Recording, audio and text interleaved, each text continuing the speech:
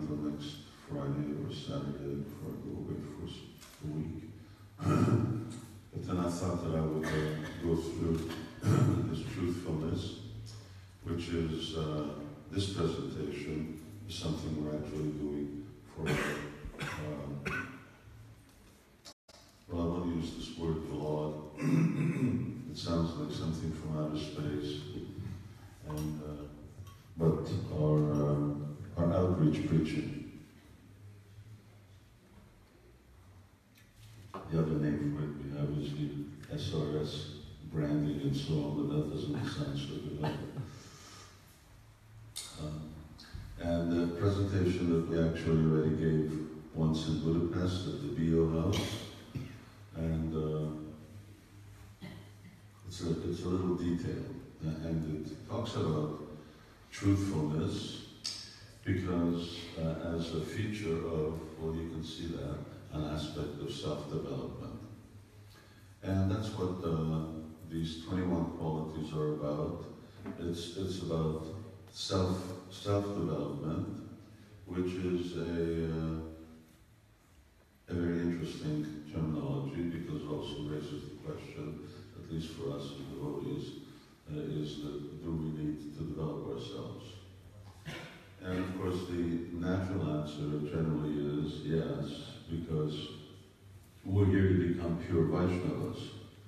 Uh, but uh, question is whether you can become, whether we actually have the qualification to become a pure Vaishnav, uh, or maybe I'll put it another way, whether uh, we uh, we're in the best situation, we're best situated for developing our devotional qualities to the pure devotional stage. And just before that, I'm going to ask a question which I asked the other day at Bhaktivedanta Manor, and I almost walked out because I got no answer from anybody. And that was I asked, what's the qualification for for bhakti, for devotional service? I just wanted one word. Faith. Faith. Okay, who's going to give that answer? Okay, well, the Hungarian was a little better educated than the English because no one knew the answer. In a room that was completely packed. So that's the qualification for bhakti. It's the only qualification for bhakti is faith. But faith is dependent on, uh, in one sense, on who you are. And even if someone has faith for bhakti or devo- in devotional service, but uh, the it's like uh, it's like building a building. Uh, what you need for a building is a foundation.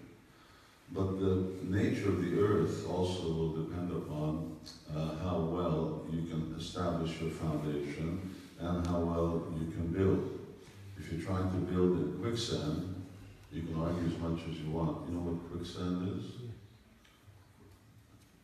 Don't have it in Dubai then. if you have uh, quicksand is uh, it's like mud that sucks you in. Once you get in it, you can't get out. Either you get pulled out or you get pulled down. So uh, you can argue as much as you want about foundation being the only requirement to build uh, build an edifice of devotional service. But if you try to establish a foundation in quicksand, then it just it's helpless, hopeless. So better to actually build on in good earth, especially rocky earth, then you know that your foundation is not going to sink. So developing ourselves as people uh, is, uh, is a very important aspect of developing ourselves as devotees. And when we do these presentations, outreach presentations to karmis, uh, we're not really doing it as a prerequisite for bhakti, although our point is that by hopefully elevating uh, these people a little in terms of their persona or who they are, we can then uh, get them to be more open and understanding of devotional service. Otherwise, in the world today, people are so lost, so contaminated by sinful activity that it's extremely hard for them to understand even the ABCs of spiritual life, like the difference between the body and the soul. Uh, and so the purpose is, the purpose of our outreach preaching is give people tools by which they can better themselves, by which they can develop themselves, for which there's a real captive audience. Uh, many people uh, are coming to the realization that material life, well, in one word, stinks, and, uh, and it doesn't, you don't get anywhere, you just become a worse person. And that's really what education is about, that's especially what employment is about, it's what politics is about, uh, it's what uh, our economic system uh, is all about. It's just about getting as much as you can out of the world and out of your neighbor, and as long as you're getting richer, then that's good. And anything that's in the way of that uh, is bad, even if it means uh, becoming humble, sincere, honest, and so on. So, uh, this presentation is based on uh, the four basic uh, qualities of uh, which we call religious principles. And as you can see, these are compassion, truthfulness, austerity, and cleanliness. And one presentation we've been having is the one which is on compassion, uh, and that's uh, the uh, presentation that we've done on ahimsa. Uh, and of course, one aspect of ahimsa is what you eat. So we've been emphasizing the benefits of uh, vegetarian uh, lifestyle. And ahimsa has many different uh, features, many different uh, approaches. So let me ask you, of course, you know, I just mentioned. So compassion is connected to meat eating. Uh, if you want to develop compassion, then you have to start meat. Uh, unless one it, it gives up meat eating, you can't you can't be emphatic towards a certain class of society and be indifferent to the sufferings of other parts of society. And the majority of society is non-human. I'm not talking about the two-legged non-humans, I'm talking about those who have multiple legs, or those that don't have any legs, like the fish. So there's only 7 billion of us on this planet, but there's many, many more, considering that humans kill 90 billion animals a year. There must be hundreds of billions of other living entities, and it's quite uh, ironic that in a primarily democratic world, we only apply democracy to the humans. We don't apply democracy to the animals. We don't ask them whether they want to become food on our plate. Uh, we just take it for granted that because we're more clever, uh, then we can outwit them and make them into food.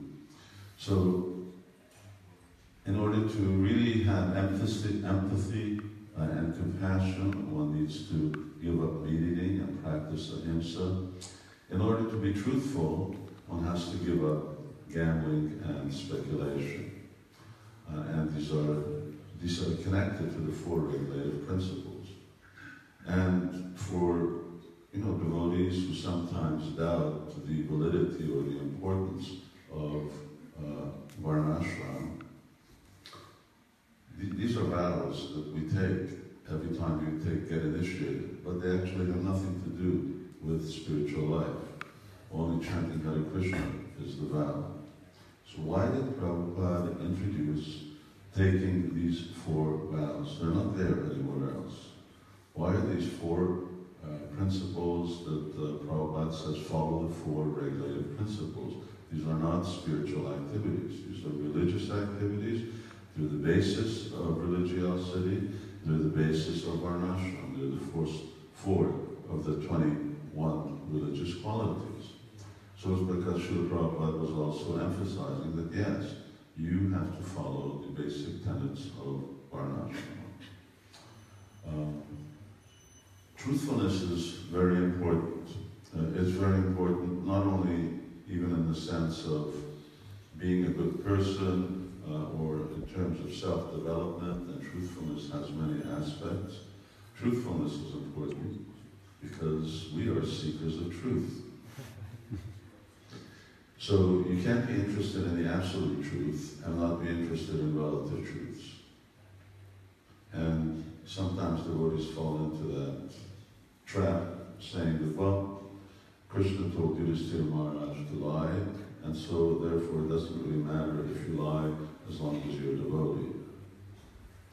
But that's not what the implication of the necessity of this quality is.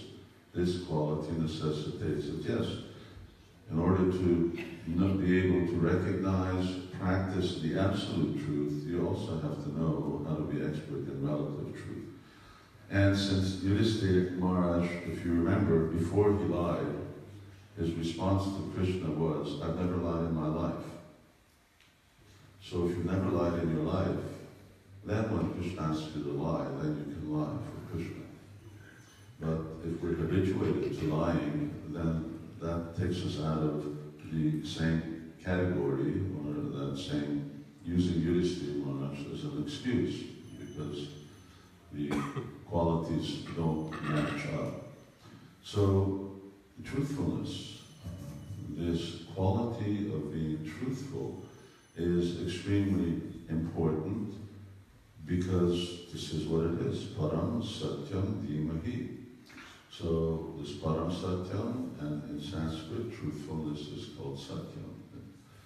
So one has to learn how to be truthful, and unfortunately, the world that we live in doesn't teach us uh, truthfulness. I'm just going to go to what the definition of truthfulness is. Um, these things over here that you see will come on to at a later date, maybe tomorrow or the day after. But as you know, truthfulness is the second leg of, we with sacredness, and uh, don't pay attention to this, this is just sort of a personal story. That's me under the dog. and here's a good dictionary definition of truthfulness. To be in accord with reality in one's thoughts, speech, and action. Um, to be in accord, Összhangban, igen. Összhangban lenni valóságban, a tudat, szó és cselekvés. So I thought this was a, a, very good definition, and we'll use this later on. Because this means that truthfulness means that you have to be in accord with absolute reality. And if you're not in line with absolute reality, then you can't really be truthful. So there is a very important correlation between knowing what reality is and what reality is in relationship to also our thoughts, our speech, and action. In other words, our thoughts have to be in accord with reality, but you have to know what absolute reality is in relationship to thought. Absolute in relationship to thought means smartavyah satatam Vishnu. You never forget Krishna. You're always thinking about Krishna. Uh, in speech, it means, well, speaking about Krishna or avoiding those things which diverge from Krishna. Just this morning, I was listening to one um, musician who was uh, talking to Srila Prabhupada, and she was asking how much should we chant Hare Krishna, and Prabhupada said, well, the minimum is 16 rounds, but actually you should be chanting all day long. He said that that's the minimum, but it's actually satatanam kirtayanto And action means that all one's activities should be devotional service. Uh, we should be directly connecting all of our activities to devotional service, or better yet, all our activities should be directly bhakti. So when we're in accord, because very often we talk about truthfulness as something what you say, but here truthfulness is connected to what you think, and truthfulness is connected to what you do, aside from being connected to what you say. And of course, if you really get used to just talking, talking, talking things that are not the truth, ultimately you start to trick yourself into thinking things that aren't truthful, and ultimately that means that your actions will also be untruthful.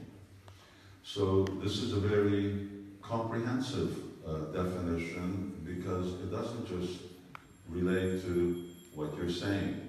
Did you speak a lie? But it's more than that. Are you thinking a lie? Are you tricking? Are you lying to yourself? Uh, are you honest with yourself and in your thinking process? Because that thinking, that precedes this, and this is a consequence of this. So, in order to be saying something that's not truthful, you have to have, be crooked thinker. In other words, crooked means you're not honest thinker. That one isn't thinking in an honest way, and of course, that may be either because we're just so habituated like that that we're tricking ourselves uh, into who we think we are or what, how issues uh, and circumstances should be approached. Uh, and as a result of that, what comes out of our mouth may be being sort of honesty means, or truthfulness means uh, that you speak a lie, you don't speak the truth, you speak half a truth, uh, and there are different variations of what it means not to be honest or truthfulness. And of course, this word truthfulness in Hungary, Hungarian is not so easily translated.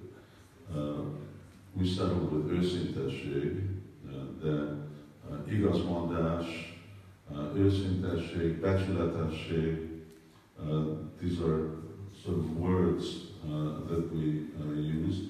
So, really good definition to be accord with reality. Uh, and then, for devotees, reality really means Krishna consciousness. That is everything that we're thinking. Do we think in terms of a Krishna conscious, uh, uh, uh Uh, in relationship to Krishna consciousness? Is everything that we think related to Krishna? Now, not just thinking about Krishna, but this is what Prabhupada's books are for. This is what Bhagavad Gita is for. This is what Srimad Bhagavatam is for. Is that when we think, and when we think about what we're going to do, what we're going to say, how we're going to live, how we're going to work, that all of these things, all of this thinking process takes place in a Krishna conscious framework. In other words, in relationship to reality. Or do we think in terms of the illusory world around us and the way that we've been brainwashed? So this definition says that when you think outside of Krishna consciousness, you think outside of Srimad Bhagavatam, you're not truthful. And the first person that you're lying to is yourself. And what's the first lie? Yes. that I'm this body. The first lie is that you're not this body. Is that when you start to identify Krishna when you turn away from Krishna and you turn towards the material energy, then you start to identify with matter. You start thinking in, in Maya's terminology, in Maya's ways. And the first uh, untruth is that I'm this body. I'm a product of material energy, and I'm this body. And whether we like it or not, a conditioned soul means that to a greater or lesser degree, we think in terms of this body. Until you become liberated, you think in terms of this body. Therefore, one has to be very proactive in being truthful. Otherwise, the things that we think, a consequence of which are the things that we say and the things that we do, are not truthful, and therefore they may well distract us from Krishna consciousness. So it's a, it's a real challenge because we're very much addicted uh, or we're very accustomed to this way of thinking. I am this body, and that the things in relationship to this body, like my family and my friends and my job and this world and other things, are the reality. And of course, the most uh, uh, most dramatic thing that happens as a result of that is in English they have this good saying, live a lie. Is that people live a lie and they die like that also. And the next body is a product, and the next life is a product of that lie that they lived. And unfortunately, the world that we live in, people are not only lying to themselves, but they're lying to everyone else and that lie is being uh, reinforced uh, by the very institutional and social fabric. So that everyone becomes very, very convinced because it's a very convincing lie. So if we want to lie to ourselves, then Krishna gives us very good facility to fool ourselves uh, and we become in that way very easily entangled uh, in this web.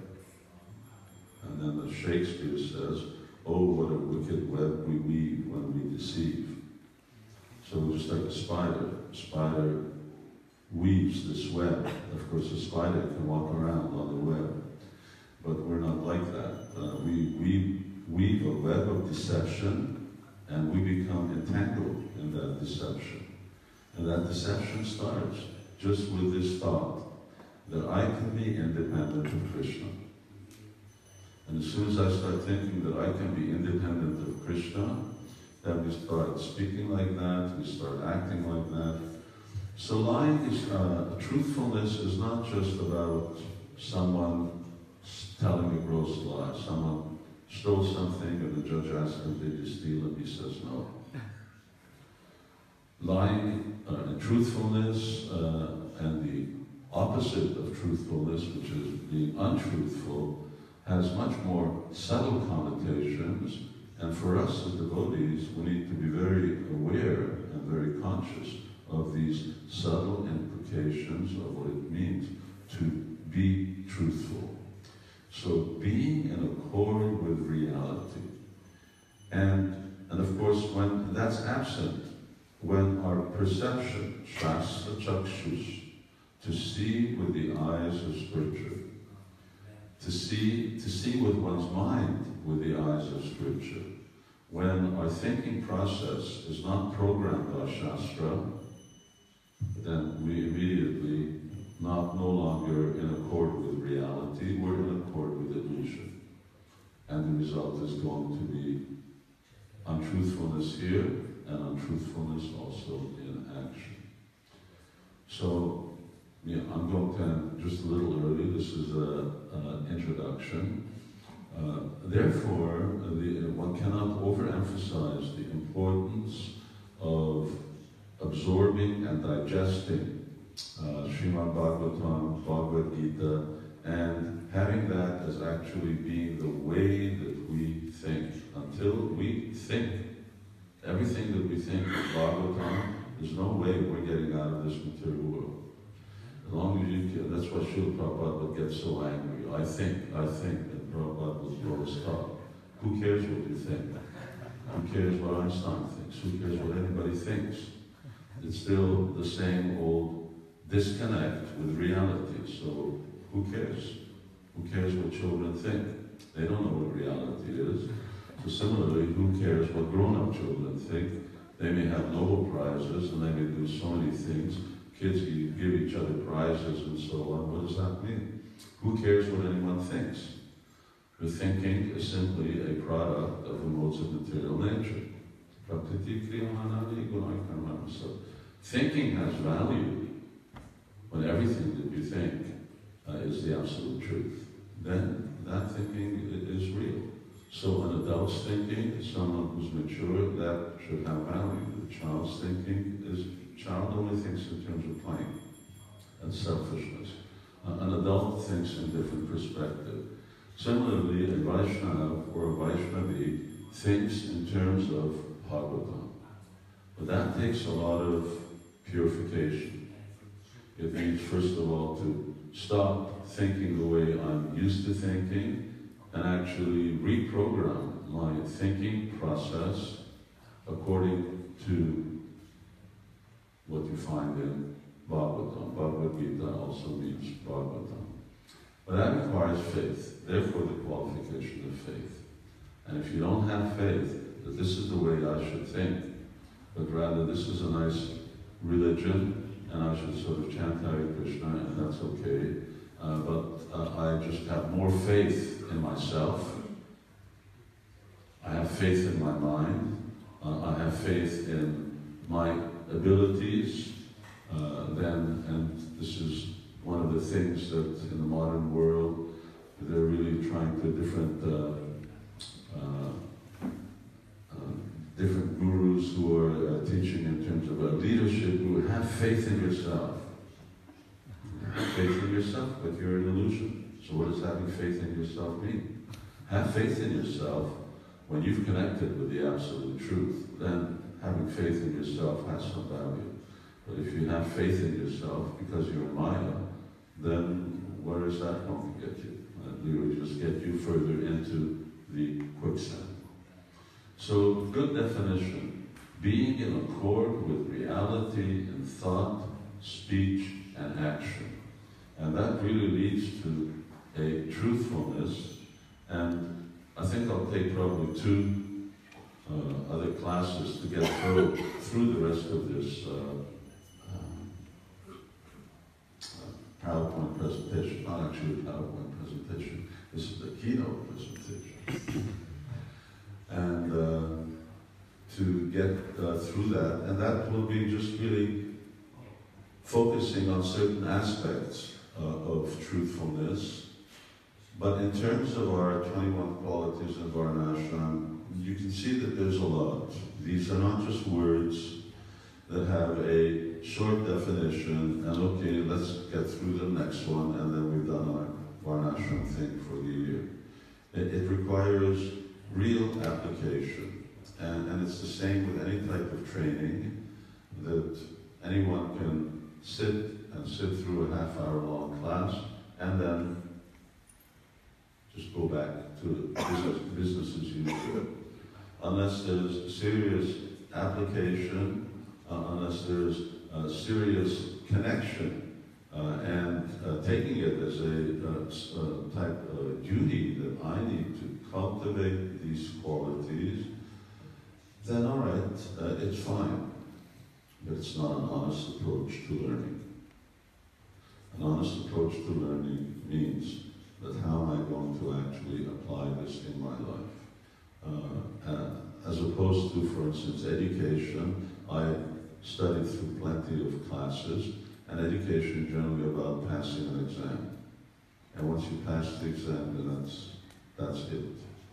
And even, even one of my professors in university said, you're not going to use 95% of the stuff we're teaching you, which really made quite a few of the students in the class upset. And you got to pass the exam, and then in some specialized field, you're going to uh, work. But Krishna consciousness is not like that. It's not about just passing some exams. In fact, we don't even have exams. That not may necessarily be a good thing, uh, because exams are not a bad thing, but the examination is meant to know how much have we really assimilated, and how much do we really practice and apply these subject matter? How much do we think about it? So, to be in accord with reality, how much of this day is going to be spent thinking about what we just talked about this morning? Or is it just as soon as we finish here, then it's business as usual, prasadam and everything else, and everything and continues? Or are, we, do we really need to reflect? Do we really need to uh, reflect on ourselves? Uh, and uh, because the whole topic is about what? It's about self-development. And self-development is work. You will not change on your own. Unless we actually have programs, and we're assuming that everyone here is an adult and they're intelligent, unless everyone has a proactive program for self-development and how they implement that, either individually or as a family or as a group or in uh, as a uh, council group uh, together. Unless we do that, then it's not. Development means to develop. It's a progressive, dynamic uh, event that's taking place. And, and until Shamsund is talking to you, then it's not over. So that's the exam. And that's when you know that you passed the exam. And until then, we're not there yet. So self-development is very dynamic, and it really needs to go forward. And the stage of self-development, first stage that we're talking about although here, is this truthfulness. Uh, in terms of compassion, uh, we don't need to, the Buddhists don't need to talk about be, being vegetarian, but, for instance, compassion we uh, practice when we go out, instance, preaching, especially when we go on book distribution. Then we really see how compassionate we are. So very often devotees may go out and they experience this extraordinary tension that they feel by going out, talking to people, and being rejected by them when we're trying to do good for them. And what's that tension? Why is that tension?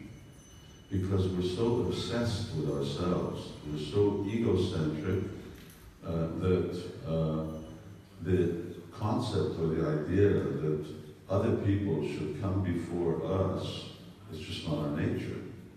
It's once again how we're programmed. So it's called false ego. We have a false ego. And of course, the real form of that false ego is this body. So, how much, how much compassion have we developed? You just go out and book distribution and you'll see. When it flows automatically with no tension, uh, and that you actually really feel for the other people who turn you away, then that means we're getting somewhere. But as long as it's difficult, it's difficult because we have to be the center point, and that's what makes it difficult. And, and because we feel sorry for ourselves instead of feeling sorry for others. So we're sorry that we've got a little sore foot, or we're, uh, our ego is getting bruised. Uh, so compassion, and this is why it's so important. And of course, uh, austerity, uh, and these are other topics that we'll talk about, or well, you'll talk about, and cleanliness. Well, we're going to have a special class on cleanliness. I had one in Budapest uh, to the devotees, and from from what, uh, what I heard from my spies, in New Vraja Dhama's ashrams are in worship live in Budapest, and uh, here the devotees more about cleanliness, because there's this great saying, cleanliness is next to godliness. And just to close, in terms of how important devotees should not think that they're going to get anywhere in spiritual life unless they're clean. It's, it's just an illusion. It's once again, we're just fooling ourselves because Krishna consciousness is all about Chaitanya cleaning your heart. And believe me, cleaning your heart is a lot more difficult than cleaning your room, or cleaning your bed, or cleaning your clothes. So if you can't stay clean, you may as well just go home. Forget it. It's not going to work here. Know, we're spending a lot of time. So you can you can know how good someone's chanting their japa by knowing how clean their room is. And if it's not clean, then the japa is a waste of time. Or at least almost a waste of time. Uh, at least in terms of one lifetime going back to Godhead. So these things are irrelevant. I'm just trying to emphasize that it isn't that they're, they're unimportant. Maybe a Maharaj Rishabdev had some very extraordinary characteristics after he was a king and he was exemplary in terms of uh, cleanliness and maybe Shukadev Goswami walked around naked. But uh, we can't imitate these things. These are a consequence of perfection, not a sediment for attaining perfection. Anyway, we'll talk more about truthfulness maybe uh, tomorrow, and then cleanliness maybe sometime next week. Okay, let's, or you want to? We've, we've got a little time until half past. Uh, we need to go, ako kanin mga pujay pabende kakuta fento ilan ako kruj, kruj. Thank you so much, Maharaj.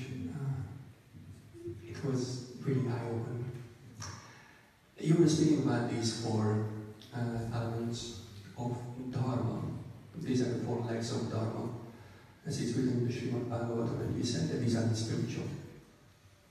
And spiritual life is chanting Hare Krishna. And does it mean that following Dharma is not spiritual?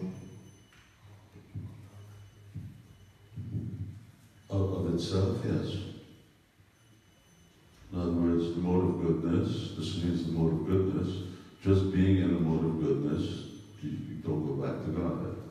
This is a material mode, this is a material quality, these are material qualities that one should cultivate, uh, but in and of themselves, they don't qualify you for spiritual life. So you can be dharmic until the cows come home. but, uh, but they're not going to uh, attain uh, perfection like that. You attain perfection by chanting Hare Krishna uh, offenselessly, but uh, being a good person is the good foundation for being, for chanting Hare Krishna. There's another question in regards to that definition of truthfulness. Uh, so being in accord with reality, you were speaking about that. We, unless we know that we are spirit souls, then we cannot be truthful. Basically, that's what that's what we said. If we and if we say that and the foundation of devotional service is Shraddha, it's faith. So on the uh, on the way to to prema, what what's the stage? Is it nishta? Is it what's the stage when we start realizing that we are not this body, or when we start becoming truthful and it's not just by chance maybe we are truthful or not?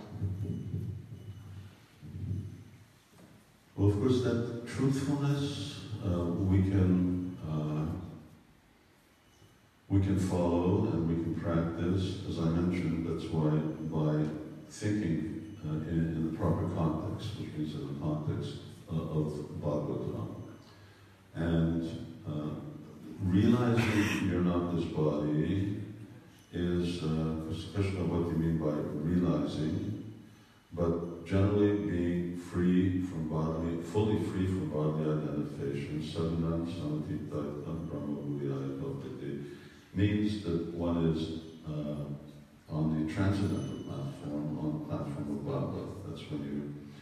But of course, other stages of practice become our uh, one's awareness, because not being your body you only really understand you're not this body when you understand what you are.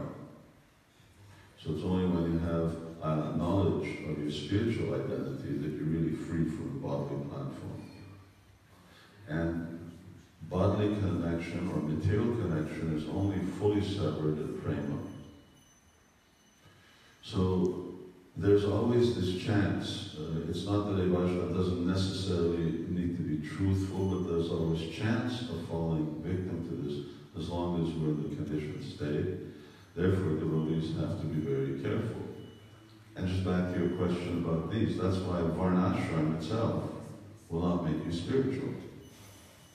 Unless Varnashram is practiced with bhakti, then bhakti is what will deliver everyone. Only bhakti uh, is the liberating feature.